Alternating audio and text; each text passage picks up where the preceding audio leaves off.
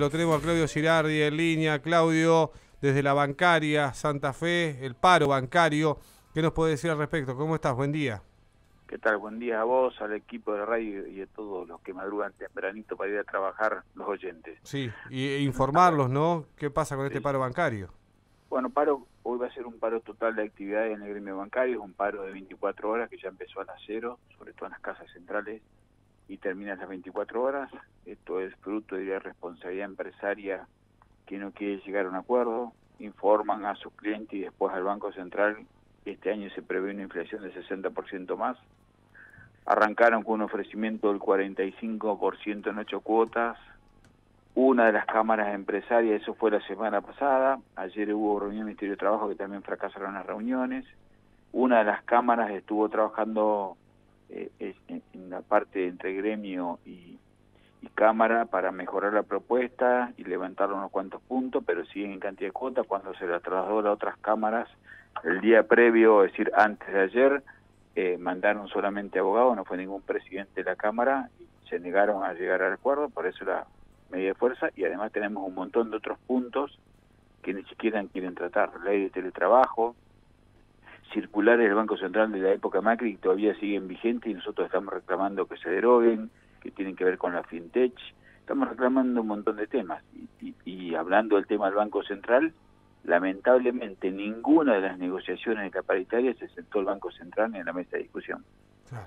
Eh, está difícil la negociación, con esto quiere decir, ¿no? Porque ni se presentaron, llevaron abogados solamente. Muy difícil la negociación, por eso va a ser hoy un paro muy contundente. No es lo mismo vivir con el sueldo de hoy que el de diciembre. Nosotros tenemos las paritarias de año 2021 terminadas y arregladas. No perdimos contra la inflación. Y sí hemos podido meter un monto a cuenta por enero, un poquito más en febrero y marzo, pero los sueldos de abril volverían a ser iguales a los de diciembre.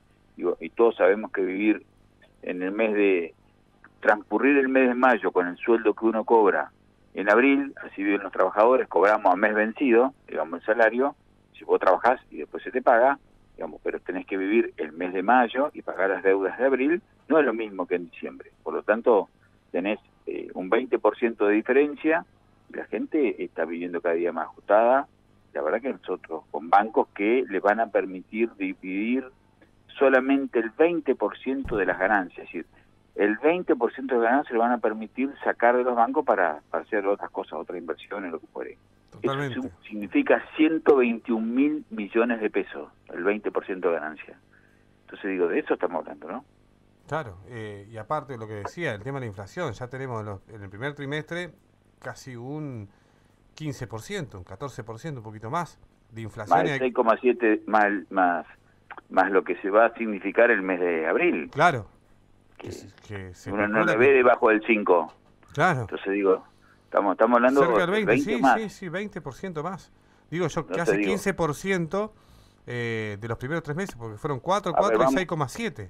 ¿Qué significa el 20% en la práctica? Que uno de cada 5 pesos que tenía en diciembre hoy no lo tenés. Si tenía 5 en diciembre hoy tiene 4 para vivir. Eso significa el 20%. Entonces, y la gente la verdad que no le sobra. no es que esa plata los trabajadores, los trabajadores la tenemos y la invertimos en paraísos fiscales, no gente lo usa para vivir. Y aparte, aparte eh, a ver Claudio, con el tema de la pandemia eh, y la eh, no presencialidad en los trabajos, los, los banqueros han ganado mucho, ¿no? Han ganado mucho y tenemos otra discusión. Han bajado cantidad de trabajadores, los bancos, casi todos los bancos han bajado cantidad de trabajadores. Claro. Eh, los mismos trabajadores que nos tuvimos ese cargo de resolver el tema pandemia, el tema corralito, digamos, todas las difíciles les tocan a los trabajadores. Yo hablo del gremio bancario como cada organización criminal tiene su realidad. Yo digo, los mismos. digamos, nosotros después de 15 días los bancos cerrados tuvimos que abrir un viernes por una responsabilidad de quien estaba en ese momento el Banco Central, que no preparó nada y, y tuvimos que salir le costó el cargo, ¿no? Después a, sí, ese, recuerdo. A, ese funcionario, pero digo, los primeros 15 días tuvimos que bancar, disculpen el término, las piñas, sobre todo el gremio bancario que tiene sus trabajadores. Porque primero la gente pensó que eran los trabajadores porque la confusión que generó ese funcionario fue esa.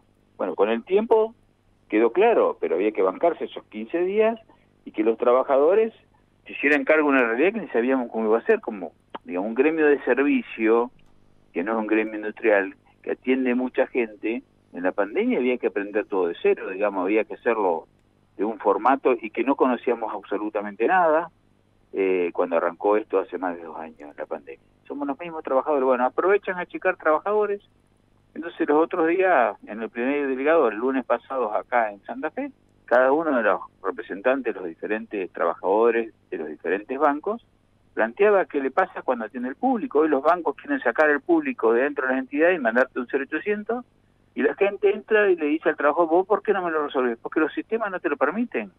Porque el trabajador es un empleado que cumple orden en una empresa, no hace lo que quiere un trabajador o una trabajadora. Bueno, muchas veces le tenemos que decir a un, a un cliente, a un usuario, que vaya a un canal alternativo que sabemos que va, a ser complicado porque no no podemos resolvérselo de adentro o porque no está en el sistema, porque eso es pasible de sanción disciplinaria, con riesgo de perder trabajo o descuento de días. Entonces digo, a los bancos hay que eh, darle obligaciones, no solo ganancia. Esto es una, una discusión más profunda y, hay que hablar de una nueva ley de identidad financiera, ¿no? Eh, ¿Hay fecha para una nueva reunión? Nosotros hoy a las 16 horas vamos a hacer, estaba, antes del paro teníamos nosotros previsto un plenario de secretario general en Buenos Aires que era el día de hoy. Lógico, tener una prioridad que es el salario y las condiciones de los trabajadores. Vamos a la media fuerza y 16 horas hoy hacemos un plenario de secretario general y bueno, ahí vamos a tomar decisiones cómo sigue esto. Eh, y bueno, y seguramente si no hay un acuerdo, quizás haya otra medida de fuerza y sea mucho más severa, ¿no? Nosotros ojalá podamos resolver esto en una mesa de discusión, siempre, pero siempre la bancaria va primero por la mesa de discusión, lo que no significa que seamos débiles. Cuando se nos provoca demasiado, porque creen que seamos débiles, va esta medida. Ojalá se arregle la mesa de discusión, si no, estamos dispuestos a duplicar la medida de fuerza. Duplicar la medida de fuerza, 48 horas de paro. Claudio, gracias por atendernos como siempre. ¿eh? No, gracias a ustedes, que tengan muy buenos días.